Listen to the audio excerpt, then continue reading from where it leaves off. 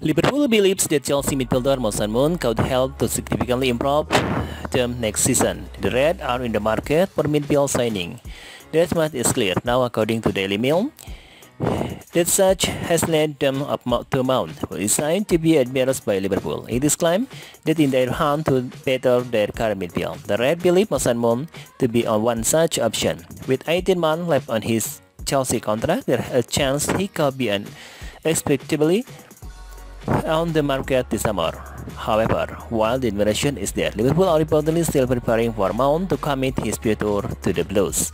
As a result, a bid for the international is signed to be unlikely at this stage. Instead, it is claimed that Liverpool are prioritizing the signing of Jude Bellingham and Matheus Nunes.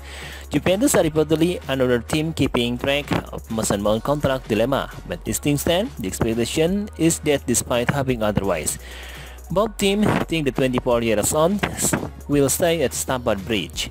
There's, there's a feeling among supporters that right now anyone will be an upgrade on Liverpool midfield option, but that certainly is not the case.